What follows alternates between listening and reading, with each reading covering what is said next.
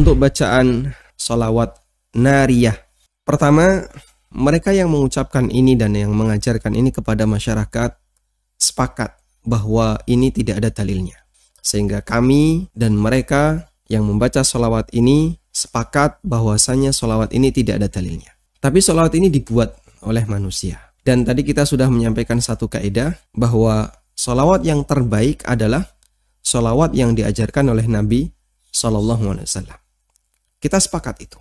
Karena yang diajarkan oleh Rasulullah Wasallam gak mungkin ada yang bermasalah dan pasti itu yang mendapatkan pahala terbesar karena Nabi SAW mengajarkan itu atas wahyu dari Allah Subhanahu Wa Taala.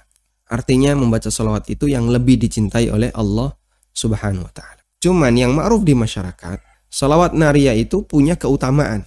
Nah ini yang aneh ya, buatan manusia tapi diyakini punya keutamaan. Kalau sudah bicara balasan, Berarti amalnya harus datang dari dat yang memberikan balasan.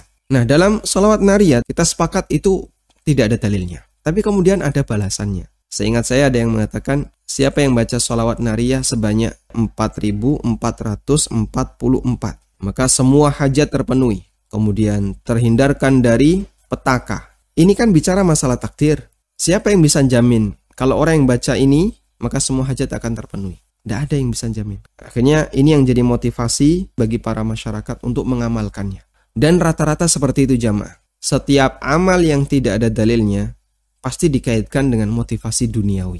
Karena itu yang menjadi motivasi yang paling gampang untuk menarik perhatian orang. Sehingga kalau Anda membaca salawat sebanyak ini, salawat nariyah sebanyak 4444, maka nanti dosa-dosa Anda akan diampuni.